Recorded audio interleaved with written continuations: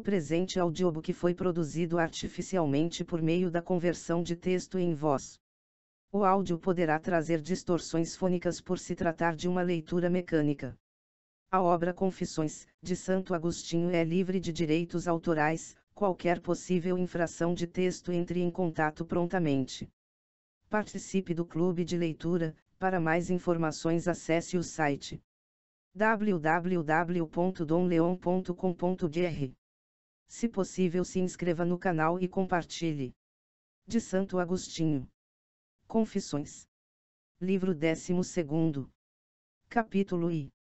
Prece. Inquieto está meu coração, Senhor, quando, na miséria de minha vida, é atingido pelas palavras de tua Escritura sagrada.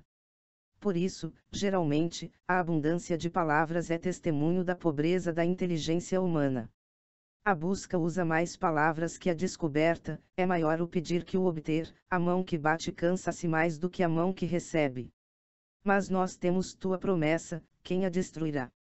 Se Deus está conosco, quem será contra nós? Pedi, e recebereis, procurai e encontrareis, batei, e abrir-se-vos-á porque todo o que pede recebe, todo o que procura encontra, e a todo o que bate se lhe abrirá. São promessas tuas. E quem temerá ser enganado, quando a promessa vem da verdade? Capítulo 2 O céu do céu. Que a humildade de minha língua confesse a tua grandeza que criaste o céu e a terra, este céu que vejo, esta terra que piso, e de onde tiraste a terra que trago em mim. Sim, criaste tudo isto. Mas, Senhor, onde está o céu de que nos falou a voz do salmista? O céu do céu pertence ao Senhor, mas ele deu a terra aos filhos dos homens. Onde está esse céu que não vemos, e diante do qual tudo o que vemos é apenas terra? De fato, todo este mundo material, cuja base é a terra, embora não seja inteiramente belo em toda parte, recebeu até em seus últimos elementos, uma aparência atraente. Mas, comparado com esse céu do céu, o céu de nossa terra também não passa de terra. Por isso, não é absurdo chamar de terra esses dois grandes corpos visíveis, se os compararmos a esse céu misterioso que pertence ao Senhor, e não aos filhos dos homens. Capítulo 3 As trevas sobre o abismo. Mas esta terra era invisível e informe, era um profundo abismo acima do qual não pairava nenhuma luz, pois não tinha nenhuma forma por isso inspiraste estas palavras: as trevas cobriam o abismo. Mas que são trevas, senão a ausência da luz? De fato, se então existisse, onde estaria a luz senão sobre a terra, para iluminá-la? Mas como a luz ainda não existia, o que era a presença das trevas, senão a ausência da luz? As trevas reinavam sobre o abismo porque a luz não existia, do mesmo modo que onde não há ruído reina o silêncio. E que significa reinar o silêncio, se não falta de som? Não ensinaste, Senhor, a alma que a ti se confessa. Não me ensinaste, Senhor, que antes de receber de ti forma e figura esta matéria informe, não existia nada, nem cor, nem figura, nem corpo, nem espírito. Não era um nada absoluto, mas massa informe, sem figura alguma. Capítulo 4 A matéria informe. Que nome darei a esta matéria, como sugerir sua ideia às inteligências mais curtas, se não usando um termo de uso corrente? O que se pode encontrar no mundo que seja mais parecido com essa ausência total de forma, que a terra e o abismo? Colocados no mais baixo grau da criação, eles não têm a beleza dos corpos que no alto brilham de luz fulgurante. Por que, então, não aceitar que essa matéria informe, que criaste sem beleza para com ela moldar um mundo cheio de beleza, fosse comodamente designada aos homens pelos termos de terra invisível e informe? Capítulo V Sua natureza. Assim, quando o pensamento indaga o que nossos sentidos podem colher a respeito dessa matéria, responde a si mesmo: não é nem forma inteligível, como a vida, como a justiça, porque a matéria corpórea, nenhuma forma sensível, porque nada há que se possa ver ou perceber no que é invisível e sem forma. Quando o pensamento humano fala desse modo, procura conhecê-la ignorando-a, ou ignorá-la conhecendo-a. Capítulo 6 Em que consiste? Senhor, se pela boca e pela pena devo confessar-te o que me ensinaste sobre essa matéria, eu direi que outrora ouvi falar, sem nada compreender, a respeito desse nome por pessoas que também não entendiam. Tentei imaginá-la sob as formas mais diversas, e não o consegui. Meu espírito revolvia confusamente formas feias e horríveis, mas enfim sempre formas. Chamava de informe essa matéria, não porque a imaginasse sem forma, mas por tê-las tão estranhas e bizarras que, se a visse, afastaria meus sentidos e confundiria minha fraqueza de homem. Por isso, o que eu concebia era informe, não por ausência de qualquer forma, mas por comparação com formas mais belas. A reta razão me persuadia, se eu quisesse conceber algo absolutamente informe, a suprimir nele todo resquício de forma, mas eu não conseguia, parecia-me bem mais fácil negar a existência do que estava privado de toda forma, do que conceber um ser a meio termo entre a forma e o nada, e que não fosse nem forma, nem nada, um ser informe, um quase nada. Então, minha inteligência deixou de inquirir minha imaginação, cheia de imagens de formas corpóreas, que ela variava e mudada a seu talante. Fixei a atenção nos próprios corpos, analisei mais profundamente essa mutabilidade pela qual eles cessam de ser o que eram e começam a ser o que não eram. Suspeitei que essa transição de uma forma para outra se fazia por meio de algo informe, e não do nada absoluto mas meu interesse era saber, e não apenas supor, e se minha voz e minha pena te confessassem em detalhes as soluções deste problema que me inspiraste, qual de meus leitores teria paciência para me entender? Contudo, meu coração não deixará de te honrar com cânticos de louvor por essas inspirações, por aquilo que não tem palavras capazes de exprimir. É a própria mutabilidade das coisas que é susceptível de assumir todas as formas em que se transfiguram as coisas mutáveis. E o que é essa mutabilidade? É espírito. Será talvez corpo. Seria uma espécie de espírito ou de corpo. Se pudéssemos dizer, um nada que é algo, ou o que é e não é, eu a chamaria assim. No entanto, era necessário que ela existisse de alguma maneira, para tomar essas formas visíveis e complexas. Capítulo 7 A criação do nada. Mas de onde essa matéria tirava seu ser, senão de ti, por quem existe toda e qualquer coisa? Quanto mais difere de ti uma coisa, mais longe de ti está e não se trata de distância espacial. Portanto, és tu, Senhor, que não mudas ao sabor das circunstâncias, mas que é sempre o mesmo, o mesmo e o mesmo, Santo e Santo e Santo, Senhor, Deus Todo-Poderoso, és tu, Senhor, que no princípio, que vem de ti, em tua sabedoria, nascida de tua substância, fizeste algo do nada. Criaste o céu e a terra, e isso não com tua substância, pois nesse caso, tua criação seria igual a teu filho unigênito e, por isso, iguais a ti mesmo. E não seria justo que o que não é da tua substância, fosse igual a ti. Mas fora de ti nada existia com que pudesses fazer o céu e a terra, ó Trindade una, unidade trina por isso criaste do nada o céu e a terra, duas realidades, uma imensa e outra pequena. Porque és todo-poderoso e bom, e só podes criar coisas boas, o grande céu e a pequena terra. Fora de ti nada havia, e desse nada fizeste o céu e a terra, tuas duas obras, uma próxima de ti, a outra próxima do nada. Uma que tem acima de si apenas a ti mesmo, e outra que nada tem inferior a ela. Capítulo 8 a terra invisível. Mas o céu do céu pertence a ti, Senhor, a terra, que deste aos filhos dos homens para que a vissem e tocassem, não era tal como agora e vemos e tocamos. Era invisível e informe, um abismo sobre o qual não havia luz. As trevas se estendiam sobre o abismo, isto é, mais profundas que o abismo. Esse abismo das águas, agora visíveis, tem até em suas profundezas uma luminosidade, perceptível aos peixes e aos animais que se arrastam no fundo. Mas tudo isso era quase o nada, sendo ainda completamente informe, porém já era um ser apto a receber uma forma. Senhor, criaste o mundo de uma matéria sem forma, do nada fizeste este quase nada de onde tiraste as grandes coisas que admiramos, nós, os filhos dos homens Porque este céu corpóreo é de fato admirável, este firmamento que separa uma água de outra, que criaste no segundo dia, depois da luz, dizendo: Faça-se e assim se fez. Chamaste a este firmamento de céu, o céu desta terra e deste mar que criaste no terceiro dia, dando forma visível à matéria informe, criado por ti antes de todos os dias. Já havias criado outro céu antes de haver dia, mas era o céu do céu, porque no princípio criaste o céu e a terra. Quanto a esta mesma terra, nada mais era que matéria informe, sendo invisível, caótica e as trevas reinando sobre o abismo.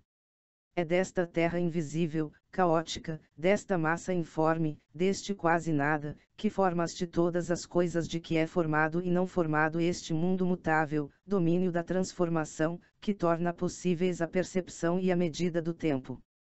Porque o tempo é feito da mudança das coisas, de variações e transformações das formas, cuja matéria é esta terra invisível, de que falei acima. Capítulo 9 A criação do tempo. Por isso, o Espírito que instruiu teu servo, quando relata que no princípio criaste o céu e a terra, cala-se sobre o tempo, guarda silêncio sobre os dias. De fato, o céu do céu, que fizeste no começo, é de alguma maneira uma criatura racional que, mesmo sem ser coeterna contigo, ó Trindade, participava todavia de tua eternidade. A doçura de te contemplar beatamente a mantém imóvel e unida a ti sem movimento, e desde sua criação escapa às vicissitudes fugazes do tempo. Porém, esta massa informe, esta terra invisível, este caos, tu não enumeraste entre os dias, de fato, onde não há forma nem ordem, nada vem, nada passa e, portanto não pode haver nem dias, nem sucessão de espaços temporais. Capítulo X Invocação à Verdade Ó verdade, luz de meu coração, fez com que se calem as minhas trevas. Deixei-me cair nelas e fiquei às escuras, mas, mesmo do fundo desse abismo, eu te amei ardentemente. Andei, errante, mas lembrei de ti. Ouvi tua voz atrás de mim, que me exortava a que voltasse, mas dificilmente podia escutá-la, por causa do tumulto de minha alma. E agora, eis que, ardente e anelante, volto à tua fonte que ninguém mo impeça, beberei de sua água, e assim viverei. Que não seja eu minha própria vida. Vivi mal por minha culpa, e foi a causa de minha morte. Em ti eu revivo. Fala-me, ensina-me. Creio em teus livros, e tuas palavras encerram profundos mistérios. Capítulo 11 As criaturas e o Criador.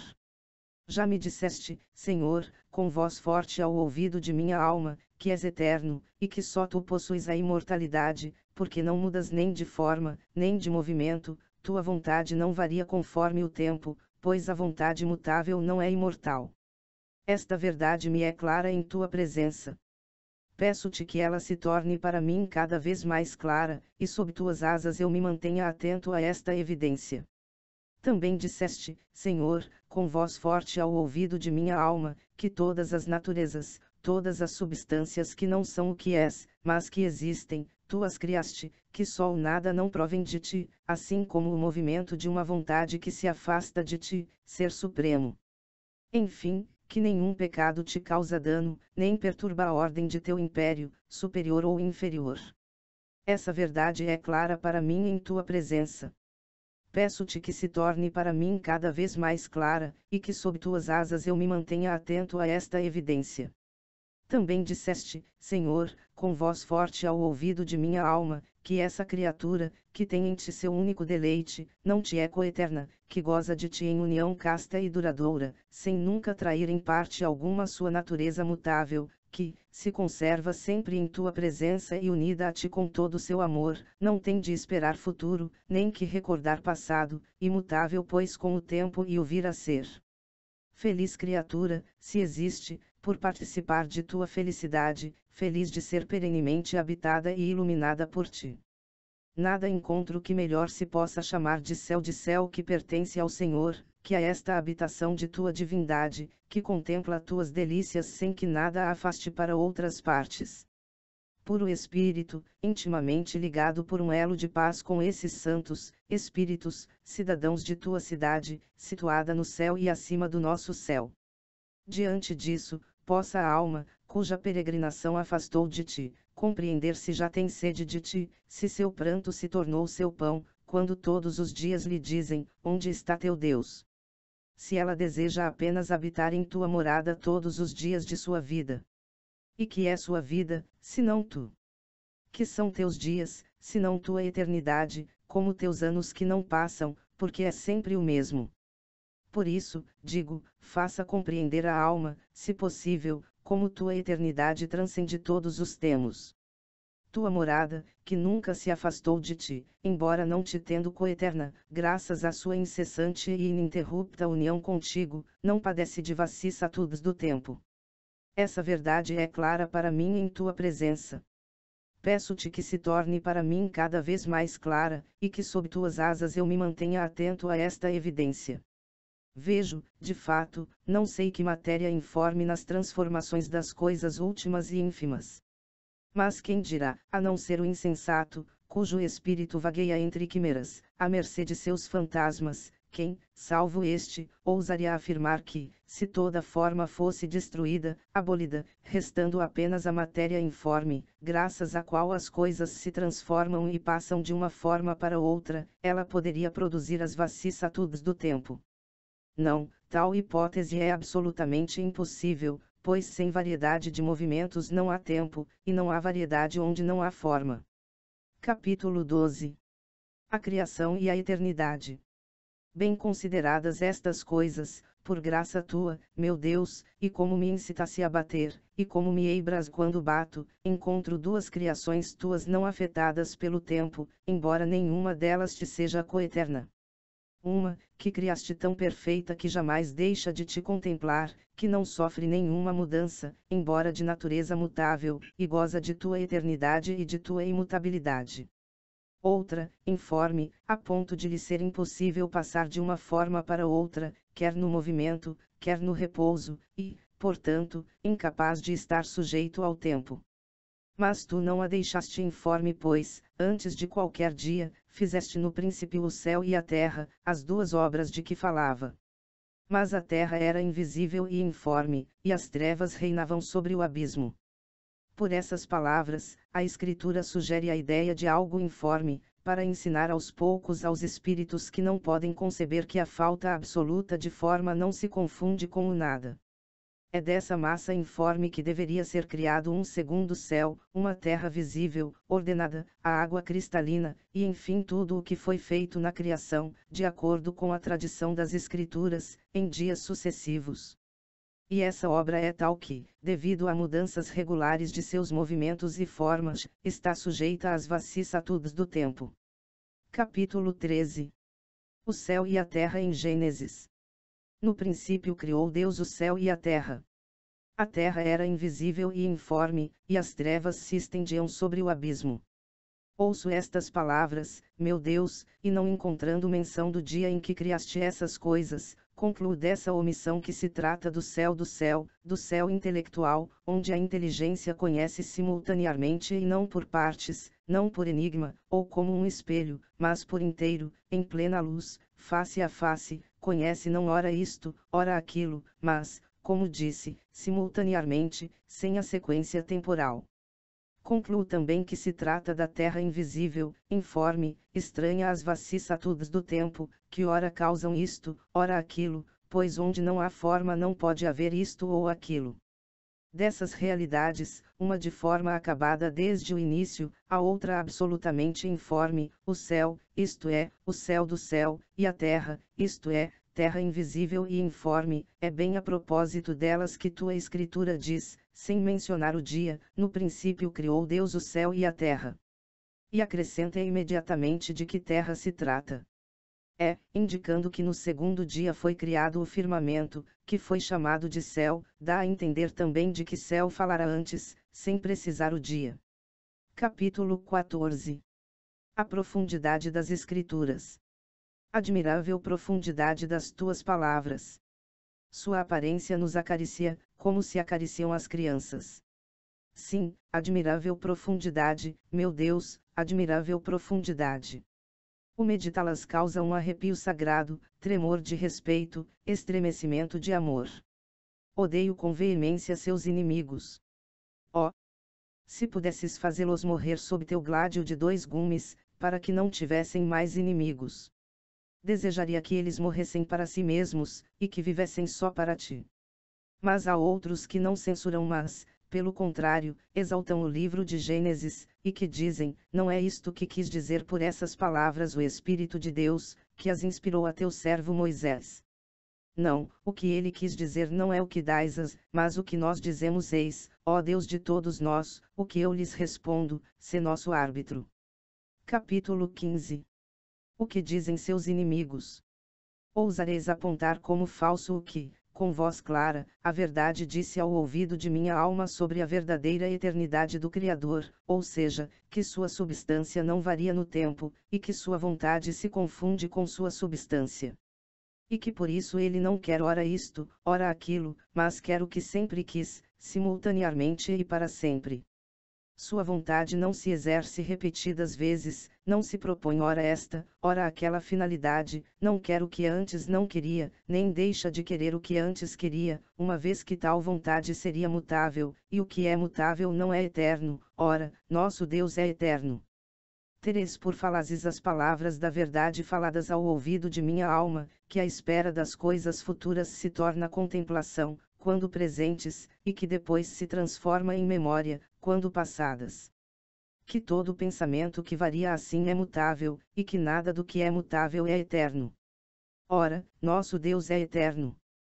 É, reunindo e condensando estas verdades, deduzo que meu Deus, o Deus eterno, não criou o mundo por um novo ato de volição, e que sua ciência não admite nada que seja transitório. Que respondes, então, meus contraditores? Será isso falso? Não, dizem eles. Mas então? Será que erro afirmar que toda criatura que tem forma, que toda matéria susceptível de tê-la recebe seu ser somente daquele que é bondade soberana, porque ele é ente supremo? Também não o negamos. Então, que negais? Negais talvez que haja uma criatura sublime, unida por um casto amor ao Deus verdadeiro e eterno, sem lhe ser coeterna, que dele não se separa nem se desvia para as várias vicissitudes do tempo, mas, pelo contrário, repousa apenas em sua contemplação. Com efeito, te ama tanto quanto pedes, ó Deus, e mostras a ela tua face e a sacias, e ela jamais se afasta de ti, nem rumo a si mesma. Ela é a morada de Deus, não terrena, e nem formada de substância do céu material, habitáculo espiritual que participa de tua eternidade, imaculada por toda a eternidade. Tu a fundaste pelos séculos dos séculos, estabeleceste uma ordem, que não passará jamais. Contudo, essa lei não é coeterna, porque teve princípio, foi criada. Não encontramos o tempo antes dessa criação, porque a sabedoria foi a primeira de todas as tuas criações. E é claro que não me refiro à sabedoria da qual és Pai, ó nosso Deus, e que te é perfeitamente igual e coeterna, por quem todas as coisas foram criadas, e que é o princípio em que criaste o céu e a terra, refiro-me à sabedoria criada, dessa essência intelectual que, pela contemplação da luz, também é luz, a esta, embora criada, também chamamos de sabedoria. E assim como a luz que ilumina difere da luz refletida, a sabedoria criada difere da sabedoria incriada, e a justiça justificante difere da justiça nascida da justificação. Nós fomos também chamados de tua justiça. Porque um de teus servos disse, para que, em Cristo, nos tornemos a justiça de Deus. Há, portanto, uma sabedoria criada antes de todas as coisas, e ela foi criada como espírito racional e inteligente, que habita tua cidade santa, nossa mãe, que está no alto, livre e eterna nos céus e em que céus, senão aos céus dos céus, que te louvam, esse céu que pertence ao Senhor.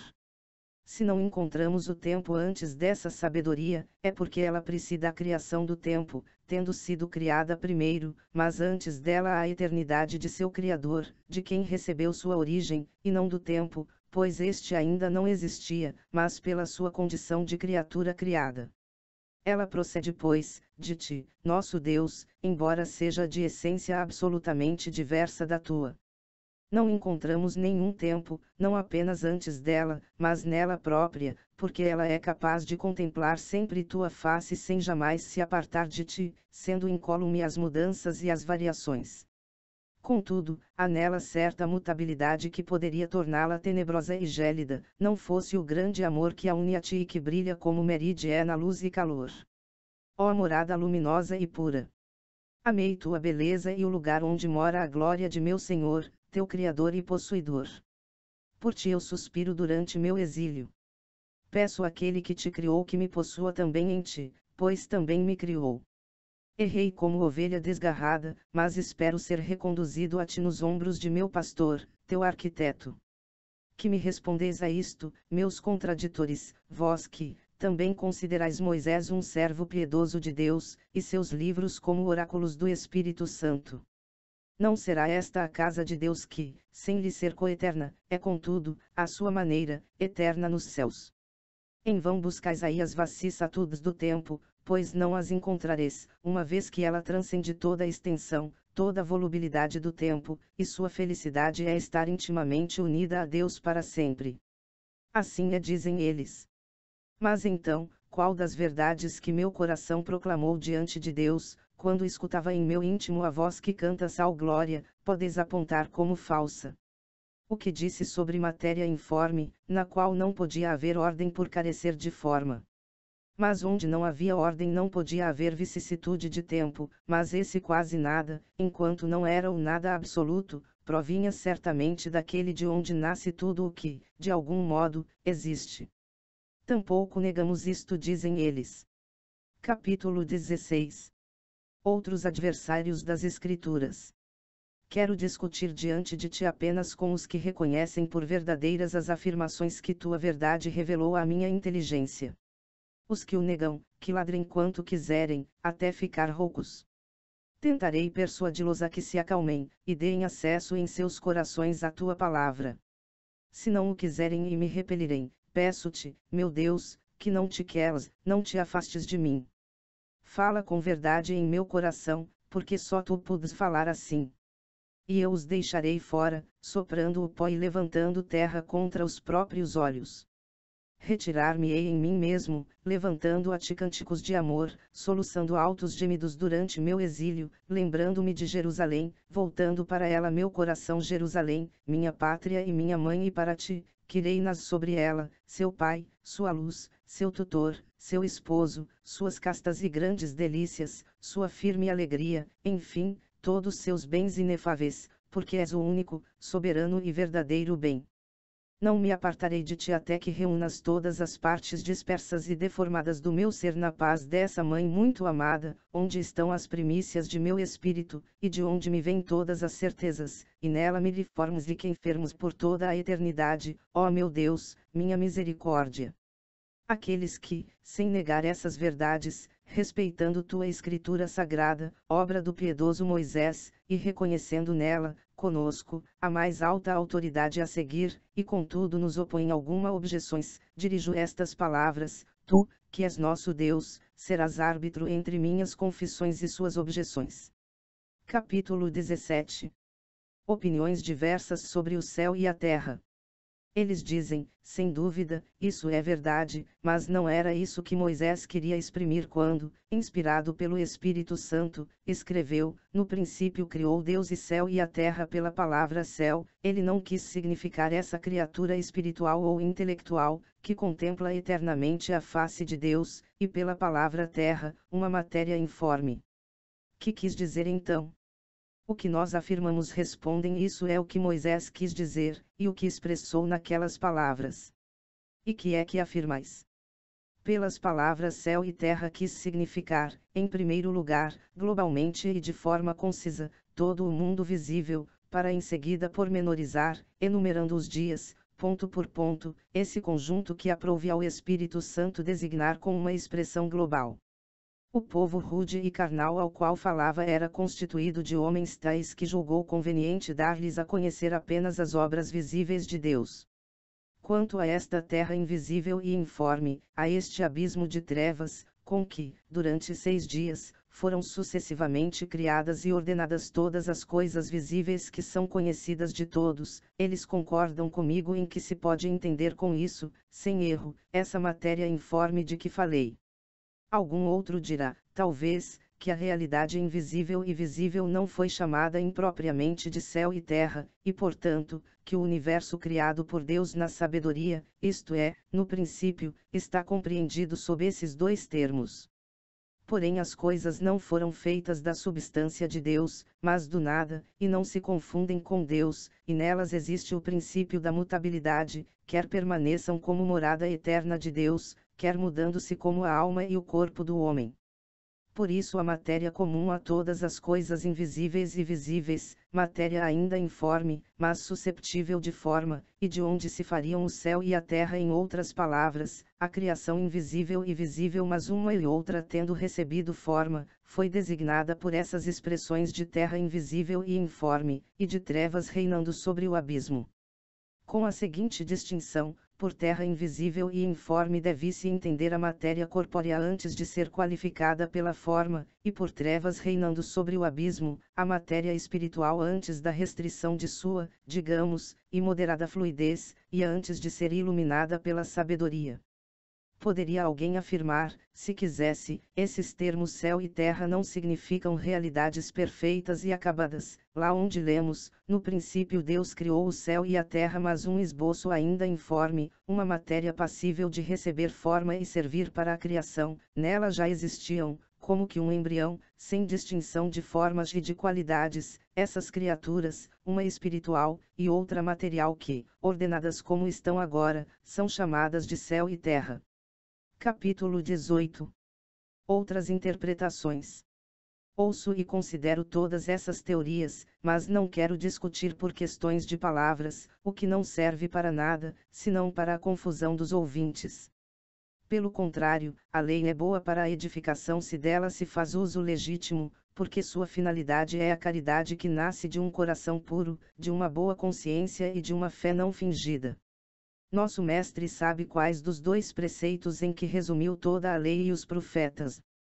A mim, que observo com zelo tais preceitos, ó meu Deus, luz de meus olhos na escuridão, que me importa que possa que possa encontrar sentidos diferentes para essas palavras, se todos são verdadeiros. Que me interessa, digo eu, que outros compreendam o texto de Moisés de modo diferente do meu. Nós todos que o lemos procuramos indagar e compreender o pensamento do autor. E como o julgamos verídico, não ousamos admitir que ele pusesse dizer o que sabemos ou o que consideramos falso. Assim, nos esforços que fazemos para compreender, na Escritura Sagrada, a ideia que o escritor quis transmitir, onde está o mal se o leitor interpreta o sentido que tu, luz de todas as inteligências sinceras, lhe fezes parecer verdadeiro, embora talvez não tenha sido este o pensamento do autor. E considerando que ele, pensando de outra maneira, só pensou verdades. Capítulo 19 A verdade, a verdade, Senhor, é que criaste o céu e a terra. A verdade é que o princípio é tua sabedoria, em que criaste todas as coisas. É também verdade que este mundo visível se compõe de duas grandes partes, o céu e a terra, síntese de todas as realidades criadas. É ainda verdade que tudo o que é mutável sugere a nosso pensamento a ideia de algo informe, susceptível de tomar forma, de mudar e de se transformar. A verdade é que um ser tão intimamente unido a uma forma mutável que, embora sujeito em si a mudanças, nunca se transforma, não está sujeito ao tempo. A verdade é que a massa sem forma, que é quase o nada, não pode conhecer as vicissitudes do tempo. A verdade é que a matéria que constitui uma coisa, se assim podemos falar, toma o nome dessa coisa, e portanto, podemos chamar de céu e de terra essa massa informe com a qual foram feitos o céu e a terra. A verdade é que, de tudo o que recebeu forma, nada se aproxima mais do informe que a terra e o abismo. A verdade é que não apenas tudo o que foi criado e formado, mas ainda tudo o que possa ser criado se origina de ti, tu que és o autor de tudo o que existe.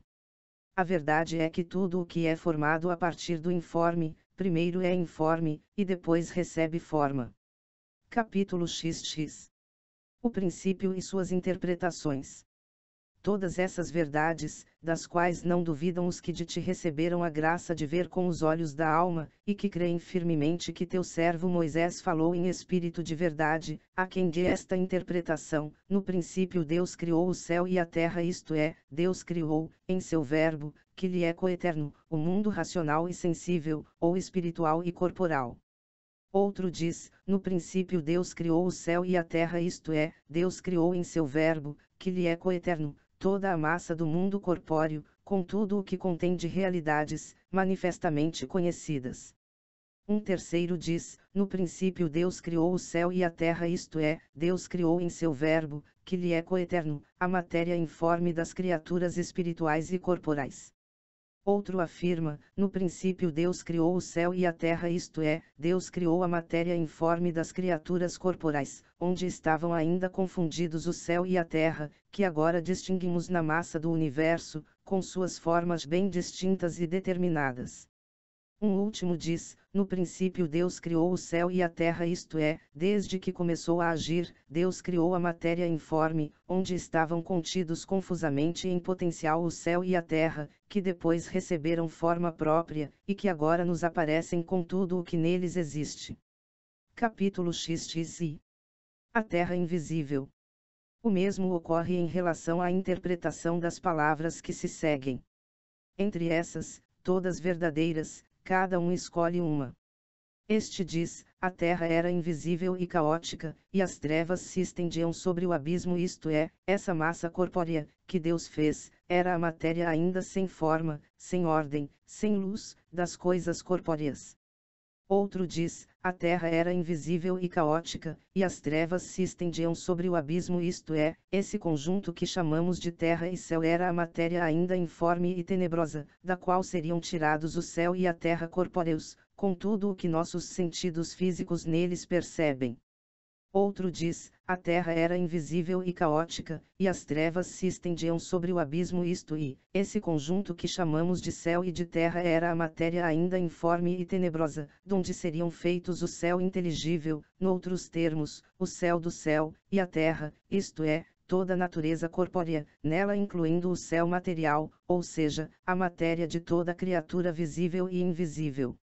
Outro diz: a terra era invisível e caótica, e as trevas se estendiam sobre o abismo, isto é, não quis a Escritura chamar a massa informe de céu e de terra, porque ela já existia, é dessa massa que ela chamou de terra invisível, caótica, abismo de trevas, é dela, que Deus criou o céu e a terra, isto é, a criatura espiritual e a corporal. E outro ainda, a terra era invisível e caótica, e as trevas se estendiam sobre o abismo, isto é, já existia uma matéria informe, da qual a Escritura diz que Deus criou o céu e a terra, toda a massa corporal do mundo, dividido em duas grandes partes, uma superior, outra inferior, com todas as criaturas nelas existentes e que nos são familiares. Capítulo XXI Objeções mas a essas últimas opiniões alguém poderia opor a seguinte objeção: se não queres dar o nome de céu e terra à matéria informe, havia então alguma coisa não criada por Deus, e de que ele se serviria para criar o céu e a terra? De fato, a Escritura não diz que Deus criou essa matéria, a menos que consideremos que seja ela o que chama céu e terra quando diz: No princípio Deus criou o céu e a terra. No que se segue, a terra era invisível e informe, ainda que a Escritura quisesse designar assim a matéria informe, nós apenas poderíamos entender com isso a matéria criada por Deus, conforme está escrito: criou o céu e a terra aos que sustentam as duas últimas opiniões que acabamos de expor, ou de uma das duas respondem assim: não negamos que esta matéria informe seja obra de Deus, de quem procede tudo o que é bom. De fato, afirmamos ser um bem superior o que é criado e plenamente formado, mas também dizemos que aquilo que é passível de ser criado e receber forma, embora seja um bem inferior, é ainda um bem. A Escritura não menciona a criação por Deus dessa matéria informe, mas deixa também de falar de muitas outras coisas, como, por exemplo, da criação dos querubins, dos serafinos, dos tronos, das dominações, dos principados, das potestades, todas criaturas que o apóstolo menciona claramente, e que Deus evidentemente criou. Se as palavras, Deus criou o céu e a terra compreendem todas as coisas, que diremos das águas sobre as quais pairava o Espírito de Deus? Se pretendemos que sejam parte do que designa a palavra terra, como conceber por isso uma matéria informe, quando vemos as águas tão belas? É, por outro lado, porque está escrito que dessa matéria informe foi criado o firmamento, chamado de céu, quando não se faz menção da criação das águas. Pois as águas que vemos correr com harmoniosa beleza e não são nem informes, nem invisíveis. E se elas receberam sua beleza quando Deus disse, que se reúnam as águas que estão sob o firmamento? E se nessa reunião receberam sua formação, que dizer das águas que estão acima do firmamento?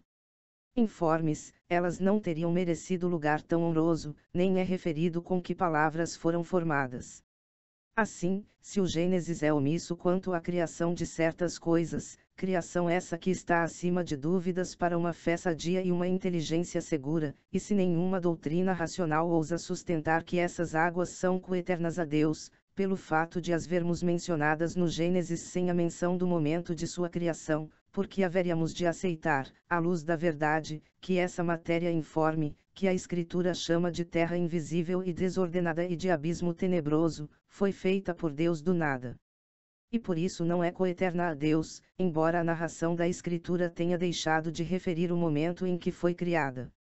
Capítulos Xi. A opinião de Agostinho.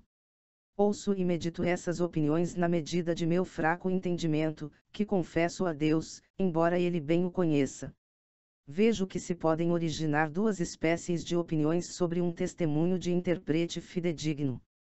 Uma é reativa à veracidade das coisas, e outra à intenção daquele que as enuncia. Procurar conhecer a verdade sobre a criação é uma coisa, procurar saber o que Moisés, grande servo de tua lei, quis o que o leitor ou ouvinte entendissem de suas palavras, é outra. Quanto à primeira opinião, longe de mim todos que têm como verdades os seus erros. Quanto à segunda, longe de mim todos os que julgam falsidade o que Moisés disse possa eu unir-me em ti, alegrar-me em ti, Senhor, com aqueles que se alimentam de tua verdade na imensidão da caridade. Aproximemo-nos juntos das palavras de teu livro, procurando tua vontade nas intenções de teu servo, a cuja pena as revelaste. Capítulos Tiv. Qual a verdade? Quem de nós, entre tantos significados possíveis que ocorrem aos estudiosos quanto às várias interpretações de tuas palavras, poderá atinar com tais intenções e declarar com segurança: Eis o pensamento de Moisés, este é o sentido que quis dar à sua narração. Quem poderá declará-lo, com a mesma segurança que ele, que essa narração é verdadeira, qualquer que tenha sido o pensamento de Moisés? Eis que eu, meu Deus, teu servo, te consagrei nesta obra o sacrifício de minhas confissões, peço a tua misericórdia que me permita a realização desse desejo, e declaro com toda segurança que criaste todas as coisas, as invisíveis e as visíveis, pelo teu Verbo imutável. Mas poderei dizer com a mesma certeza que Moisés teve essa intenção, e não outra, quando escreveu: No princípio, criou Deus o céu e a terra. Embora esteja persuadido de que isto está claro na tua verdade, não vejo com igual certeza o que Moisés pretendia ao escrever tais palavras. Por essa expressão, no princípio pode ter significado, no começo da criação. Por céu e terra, pode ter querido dar-nos a entender, a natureza espiritual e corporal, não já formada e perfeita, mas uma e outra, só esboçada e sem forma. Vejo que ambos os sentidos são igualmente plausíveis. Mas não posso atinar em qual dos dois pensava Moisés quando escrevia essas palavras. Fosse porém qual fosse sua intenção ao exprimir essas palavras, eu não poderia duvidar de que tão grande homem tenha entrevisto a verdade e a tenha formulado adequadamente. Capítulo XXV Os diversos partidos. Que ninguém me moleste, portanto, dizendo: o pensamento de Moisés não é o que tu dás, mas o que eu digo. Se apenas me dissessem, como sabes que Moisés de fato entendia essas palavras no sentido que lhe atribuis? Eu não me agastaria, e responderia talvez o que respondi acima, ou até mais explicitamente, se meu contraditor fosse insistente. Quando, porém, me dizem, o pensamento de Moisés não é o que dais, é o que eu afirmo sem contudo provar a veracidade de uma ou outra interpretação, então, ó vida dos pobres, ó meu Deus, em cujo seio não há contradição, inunda de paz o meu coração, para que eu tenha paciência para suportar essas pessoas pois não emitem tais opiniões inspirados por Deus, ou porque tenham lido o pensamento de teu servo, mas porque são orgulhosos.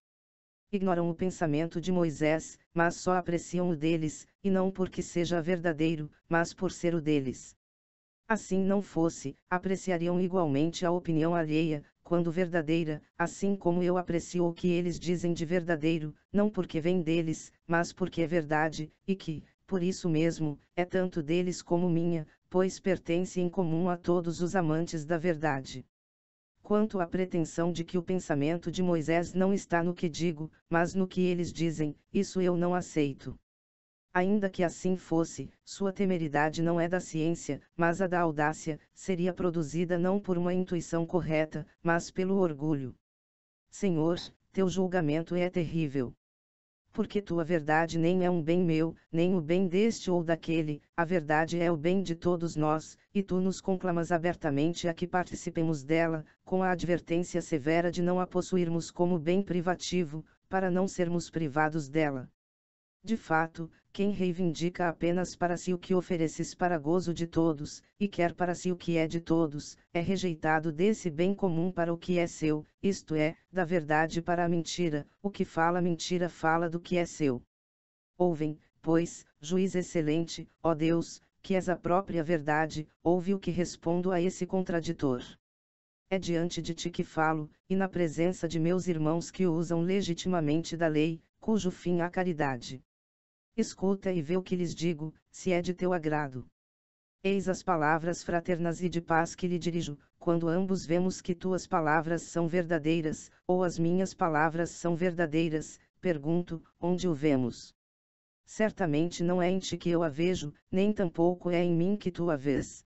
Ambos a vemos na verdade imutável, que está acima de nossas inteligências. Uma vez que não discordamos sobre essa luz do Senhor, nosso Deus, por que discutir sobre o pensamento de nosso próximo? Nós não o podemos ver como vemos a verdade imutável. Se o próprio Moisés nos aparecesse e nos explicasse seu pensamento, nem assim veríamos esse pensamento, mas apenas acreditaríamos nele. Cuidemos, pois, de não nos levantarmos orgulhosamente um contra o outro a respeito das Escrituras. Amemos ao Senhor, nosso Deus, de todo o nosso coração, de toda a nossa alma, de todo o nosso espírito, e ao próximo como a nós mesmos. É segundo esses dois preceitos da caridade que Moisés pensou aquilo que escreveu em seus livros. Não acreditarmos nisso seria considerar o Senhor mentiroso, atribuindo a seu servo sentimentos distintos daqueles que ele próprio lhe ensinou diante de tantos pensamentos igualmente verdadeiros que podem ser deduzidos dessas palavras, vê que estultice é afirmar temerariamente que Moisés teve este pensamento e não aquele, ofendendo com nossas disputas perniciosas a caridade, por amor da qual ele escreveu as palavras que procuramos interpretar. Capítulo XXVI Agostinho no lugar de Moisés. Todavia, meu Deus, que me alivas em minha pequenez, que descansas minha fadiga, que ouves minhas confissões e perdoas meus pecados, tu me ordenas que eu ame a meu próximo como a mim mesmo, não posso crer que Moisés, teu servo tão fiel, tenha sido aquinhoado com menos danos do que eu teria desejado e apetecido se tivesse nascido em seu tempo, e me tivesses confiado a tarefa de te servir com meu coração e minha língua, e disseminar essas escrituras.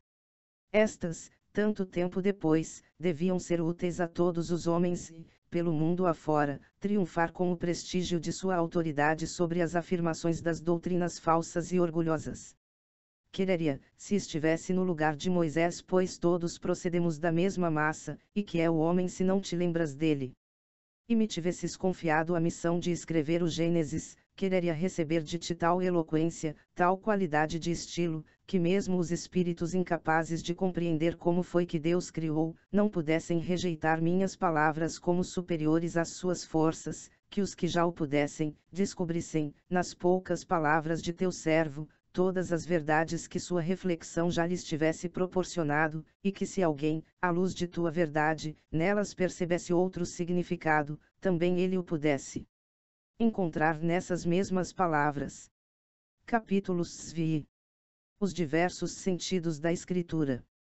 Assim como uma fonte, em seu pequeno leito, torna-se depois mais abundante e, pelos diversos regatos que alimenta, banha espaços muito mais amplos que qualquer um deles, que deslizam através de muitas regiões, assim também a narração do ministro de tua palavra, que deveria alimentar a tantos intérpretes, faz brotar de seu estilo sóbrio e conciso torrentes de límpida verdade, de onde cada um tira para si a verdade que pode, para depois desenvolvê-la em longas sinuosidades de palavras.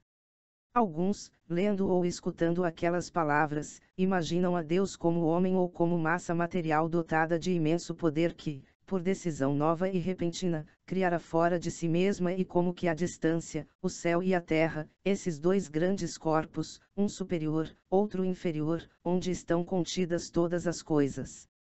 E ao ouvirem dizer Deus disse, faça-se isto. E isto foi feito? Imaginam que se trata de palavras comuns, que começam e terminam, que soam no tempo e passam. Julgam que, logo após pronunciadas, começa a existir o que ordenaram que existisse.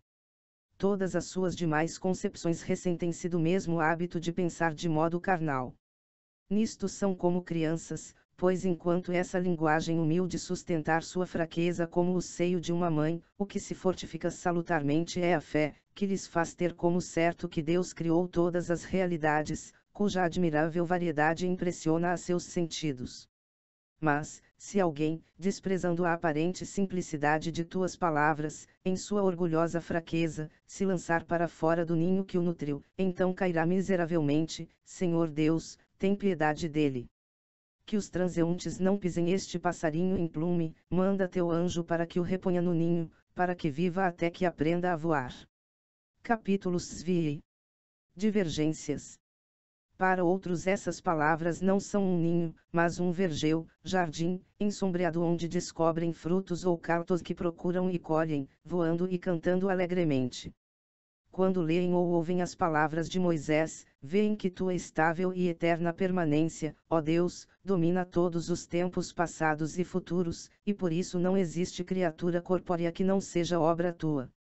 Veem que tua vontade, confundindo-se com teu ser, criou todas as coisas sem sofrer modificação, sem que nasça nela uma decisão nova, que não existisse antes, que criaste o mundo, não tirando de tua substância uma imagem tua, forma substancial de toda a realidade, mas tirando do nada uma matéria informe, diferente de ti mesmo, e esta poderia ser formada à tua imagem pela volta à tua unidade, segundo a medida previamente estabelecida e concedida a cada ser, de acordo com sua espécie.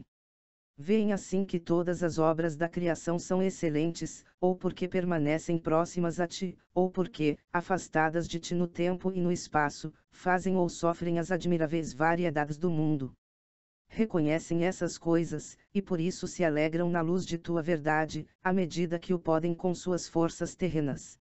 Outros, refletindo o sentido destas palavras, no princípio criou Deus, vê no princípio a sabedoria, porque também ela nos fala. Outro, ao considerar as mesmas palavras, entende por princípio o começo da criação, e a expressão, Deus criou no princípio significa para ele, Deus primeiramente fez. E entre os mesmos que por princípio entendem que Deus criou em sua sabedoria o céu e a terra, um acredita que céu e terra designam a matéria da qual o céu e a terra foram criados, outro pensa que a expressão se aplica a naturezas já formadas e distintas, outro sustenta que a palavra céu significa natureza formada e espiritual, a terra, a natureza informe e material. Aqueles, porém, que entendem por céu e terra a matéria ainda informe, com a qual viriam a ser formados o céu e a terra, não tem unanimidade, um concebe essa matéria como origem comum das criaturas sensíveis e espirituais, outro apenas como fonte de massa sensível e corpórea, contendo em seu vasto seio todas as realidades visíveis, oferecidas a nossos sentidos. Tampouco são unânimes os que creem que nesse texto céu e terra se referem às criaturas já formadas e dispostas, um acredita que se trata do mundo invisível e visível, outro, apenas do mundo visível, onde se contempla o céu luminoso e a terra tenebrosa, com tudo o que eles contêm. Capítulos X Dificuldades. Mas quem interpreta a palavra, no princípio criou, como se ela quisesse dizer, primeiramente Deus criou, apenas pode entender, por céu e terra, se quiser se manter coerente à verdade, a matéria do céu e da terra, isto é, da criação universal, tanto espiritual como material. Pois, se quiser referir-se com isso a um universo já inteiramente formado, seríamos levados a indagar-lhe, se Deus criou isso antes, o que criou depois depois de ter criado tudo, não encontrará mais nada para criar e, gostando ou não, ouvirá a pergunta: como é possível que Deus tenha criado isso primeiro, se nada criou depois? Se ele quer significar que Deus criou primeiro a matéria informe, e depois lhe deu forma, já não é uma tese absurda, desde que seja capaz de discernir a prioridade na eternidade, no tempo, na escolha, na origem. Na eternidade, Deus antecede todas as coisas, no tempo, a flor precede o fruto, na escolha, o fruto vale mais do que a flor, na origem, o som precede o canto. Dessas quatro prioridades, a primeira e a última dificilmente se compreendem, enquanto é bem fácil entender as outras duas. É de fato raro e dificultoso conceber a tua eternidade criando, mas conservando-se imutável, as coisas mutáveis, por isso, antecedendo-as. E precisa ter uma inteligência penetrante para compreender, sem grande esforço, como o som antecede o canto, uma vez que o canto é o som organizado, e uma coisa pode muito bem existir sem forma, mas o que não existe não pode receber forma. Assim, a matéria é anterior ao que dela se forma. E não porque seja a sua causa eficiente, pois também é objeto da criação, nem tampouco porque lhe seja anterior no tempo. De fato, não emitimos em um primeiro instante, sons desarticulados e informes, para depois os ligarmos e formar uma melodia e um canto, como se faz com a madeira e a prata ao fabricarmos uma arca ou um vaso. Com efeito, essas matérias precedem no tempo os objetos que delas são feitos. Mas com o canto não é assim. Quando se canta ouve-se o som do canto, não há em primeiro lugar sons desorganizados, que depois assumem a forma de canto. Logo que ele soa, o som se desvanece, e não deixa de si nada que se possa coordenar com arte. Por conseguinte, o canto é formado de sons, o som é sua matéria e, para se transformar em canto, recebe uma forma. A prioridade não se fundamenta em um poder criador, porque o som não é o artífice do canto, mas é apenas posto pelo corpo à disposição da alma do cantor, para que dele faça um canto. Nem se trata de prioridade temporal, o som é produzido ao mesmo tempo que o canto. Tampouco se trata de prioridade de escolha, o som não é superior ao canto, pois o canto nada mais é que som, mas um som bonito. Trata-se apenas de uma prioridade de origem, pois o canto não recebe forma para se tornar som, mas o som para se tornar canto. Compreende-se por esse exemplo, que a matéria das coisas foi criada antes, e chamada de céu e terra, porque dela foram formados o céu e a terra. Não foi criada antes em sentido cronológico, porque o tempo só tem início com a forma das coisas, ora, a matéria era informe, e se tornou perceptível juntamente com o tempo. Todavia, nada se pode mencionar dessa matéria a não ser alguma prioridade temporal, embora ocupe a última posição na escala de valores, pois o que tem forma é evidentemente superior ao que é informe. Ou que foi precedida pela eternidade do Criador, que a fez para que fossem feitas do nada todas as coisas. Capítulo XXX Espírito de Caridade Nessa diversidade de opiniões verdadeiras, que da própria verdade brote a concórdia. Que nosso Deus tenha compaixão de nós, para que usemos legitimamente da lei segundo o preceito que tem por fim a caridade pura. Por isso, se me perguntarem qual dessas opiniões foi a de teu servo Moisés, eu não seria coerente com minhas confissões se não te confessasse que o ignoro. Sei, contudo, que essas opiniões são verdadeiras, a não mera interpretações materialistas, sobre as quais já disse tudo o que pensava. São como meninos esperançosos aqueles que não temem as palavras do teu livro, tão profundas em sua humildade, tão eloquentes em sua concisão. Mas nós todos que, eu o declaro, distinguimos e dizemos a verdade sobre tais palavras, amemo-nos uns aos outros, e amemos igualmente a Ti, nosso Deus, fonte da verdade, pois temos sede, não de fantasias, mas da própria verdade. Honremos a teu servo, que nos legou tua escritura, cheio de teu espírito, e estejamos certos que, ao escrever as palavras que lhe revelaste, ele teve em mira as revelações mais salientes da verdade e seus frutos proveitosos. Capítulo XXXI O Gênesis e seu autor. Assim, quando alguém me diz, o pensamento de Moisés é o meu e outro diz, não, ele pensou como eu parece-me mais consoante ao espírito religioso dizer, porque não admitir ambos os pontos de vista, se ambos são verdadeiros. E se alguém descobrir um terceiro, um quarto sentido, e outros mais, desde que sejam verdadeiros, por que não acreditar que Moisés viu todos eles, ele por cujo intermédio o Deus único adaptou as Escrituras à inteligência da multidão, que deveria descobrir-lhes significados diversos e verdadeiros. Por mim, digo sem hesitar e do fundo do coração, se, investido da mais alta autoridade, tivesse algo a escrever, preferiria fazê-lo de modo que minhas palavras proclamassem tudo o que cada um pudesse conceber de verdadeiro sobre isso, em vez de propor um significado único e claro que excluísse todos os demais, cuja falsidade não me pudesse ofender. E também não quero, meu Deus, ser tão temerário ao ponto de acreditar que esse grande homem não mereceu de ti essa graça. Moisés, redigindo esses textos, pensou, concebeu todas as verdades que já fomos capazes de encontrar, e também as que não o podemos, mas que podem ser descobertas. Capítulo Xi Oração Enfim, Senhor, tu que és Deus, e não carne e sangue, se um homem não pôde ver tudo por completo, poderia teu Espírito bom, que me deve conduzir à terra da retidão, desconhecer algo do que tensionavas revelar por essas palavras a seus leitores vindouros, apesar de teu mensageiro não entender senão um dos numerosos sentidos verdadeiros. Se assim é, o sentido que ele pensou era o mais elevado de todos. Mas revela a nós, Senhor, esse sentido ou algum outro que for de teu agrado e real, e quer nos mostres o mesmo sentido que ao homem de Deus, quer seja outro, inspirado pelas mesmas palavras, alimenta nosso espírito, guarda-nos da ilusão do erro. Eis, Senhor meu Deus! Quantas páginas escrevi sobre tão poucas palavras! Deste modo, minhas forças e o meu tempo serão suficientes para examinar todos os teus livros.